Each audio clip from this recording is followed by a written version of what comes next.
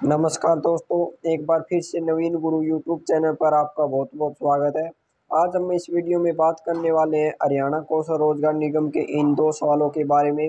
पहला सवाल है कि हरियाणा कौशल रोज़गार निगम में छुट्टी मिलेगी क्या? और दूसरा सवाल है कि हरियाणा कौशल रोज़गार में प्राइवेट एक्सपीरियंस चल जाएगा क्या? मुझे पता है कि आप सभी इन दोनों सवालों के जवाब बेसब्री से जानना चाहते हैं।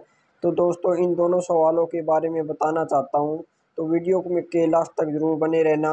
अगर आप हरियाणा को स्वरोजगार निगम से जुड़ी कोई भी अपडेट समय समय पर पाना चाहते हैं तो चैनल को सब्सक्राइब ज़रूर करें और साथ में बेल आइकन ज़रूर दबा दें ताकि कोई भी वीडियो इस चैनल पर अपलोड हो, उसका नोटिफिकेशन आपको सबसे पहले मिल सके। तो चलिए बिना देरी के मैं इन दो सवालों के जवाब आपको बता देता हूँ।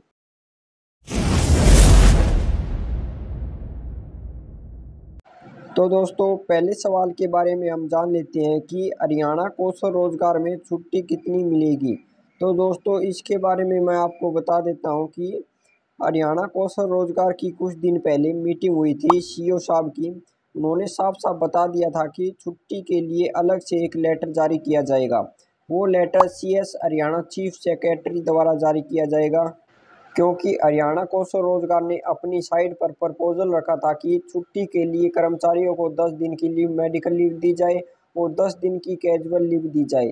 तो दोस्तों, कौशल रोज़गार ने यह प्रपोजल रखा था, लेकिन चीफ सेक्रेटरी द्वारा भी एक अलग से लेटर जारी किया जाएगा और उसमें अलग से डिसीज़न लिया जाएगा। तो उसमें क्या अलग अलग डिसीज़न लिए जाते हैं, उस लेटर में बताया जाएगा। वीडियो पसंद आ रही है तो वीडियो को लाइक और शेयर ज़रूर करें। अगर आप लेटर के बारे में जानना चाहते हैं तो चैनल को सब्सक्राइब करके ज़रूर रखें। अब आते हैं दूसरे सवाल पर। दूसरा सवाल है कि हरियाणा कौशल रोज़गार में प्राइवेट एक्सपीरियंस चल जाएगा क्या? तो दोस्तों, सीओ साहब ने मीटिंग में बताया था कि जो प्राइवेट एक्सपीरियंस है वो अभी नहीं चलेगा। उसके लिए हरियाणा कौशल रोज़गार में कोई जगह नहीं है। केवल जो सरकारी कर्मचारी के पास एक्सपीरियंस है, वो ही हरियाणा कौशल रोज़गार में एक्सपीरियंस चलेगा। अगर कोई भी प्राइवेट एक्सपीरियंस वाला रजिस्ट्रेशन करेगा तो वो डीडीओ उसको वेरीफाई करेगा। तो प्राइवेट एक्सपीरियंस को देखते ही डीडीओ उसको रिजेक्ट कर देगा। तो कहने का सीधा सीधा मतलब यह है कि जो प्राइवेट एक्सपीरियंस वाले हैं, अभी हरियाणा कौशल रोज़गार पोर्टल पर रजिस्ट्रेशन ना करें। अगर कभी भी प्राइवेट एक्सपीरियंस वाले मांगे जाएँगे तो आपको उसकी वीडियो इस चैनल पर मिलेगी।